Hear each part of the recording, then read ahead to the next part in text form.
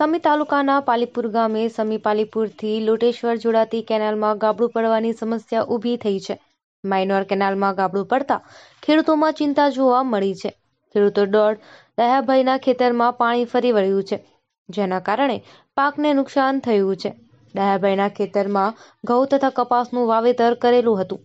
ખેડૂતો યોગ્ય વળતર મળે તથા જલ્દીથી કેનાલનું સમારકામ કરવામાં આવે તેવી ખેડૂતોની માંગણી છે.